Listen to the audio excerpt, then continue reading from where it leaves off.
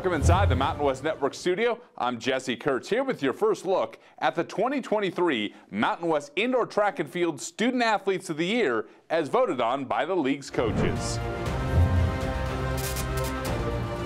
We have co-female athletes of the year, starting with Emilia Sjostrand from San Jose State, who set the school record and finished the indoor season ranked seventh in the nation in the women's triple jump at the NCAA Indoor Track and Field Championship.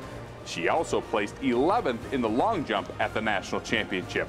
Sjostrand was named the Mountain West Women's Performer of the Meet at the conference championship after winning gold in the long jump and triple jump. So both Coach TJ Harris and Coach Ryan, uh, they've helped me a lot and just made sure that I had all the tools kind of to, to make this work and just everyone on my team and my friends and my family, everyone has been very supportive in helping me achieve this. It's been quite a long journey to get to where I am now, so it's very amazing to be able to do it with everyone. UNLV's Rosa Santana is the other co-female athlete of the year in indoor track and field after placing third in the nation in the shot put with a Mountain West record mark of 18.43 meters, earning first team All-America honors for the first time in her career. Santana won the event at the Mountain West Championship with a record mark of 17.91 meters.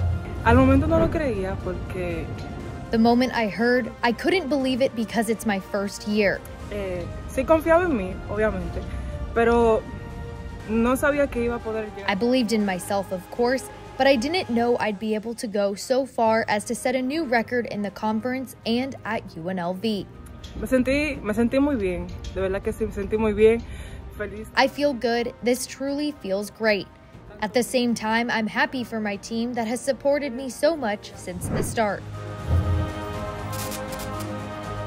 The male indoor track and field athlete of the year is Sam Gilman from Air Force.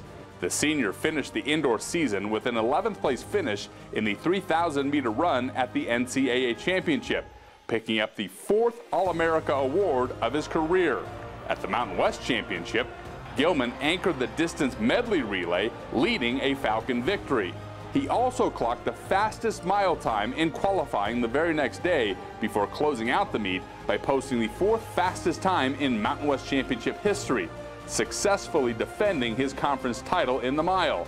In doing so, he becomes the third runner in league history to ever win back-to-back championships in that event. it's not an award you take for granted when when the guys you who you compete against and who coach against you um, recognize you.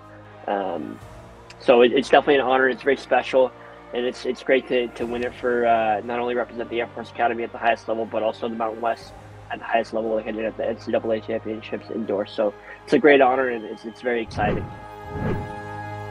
Gilman claims the conference's top honor for a second consecutive year. It also marks the third time in the last four occasions it's gone to an Air Force Falcon. Congratulations to this year's winners. From the Mountain West Network studio, I'm Jesse Kurtz.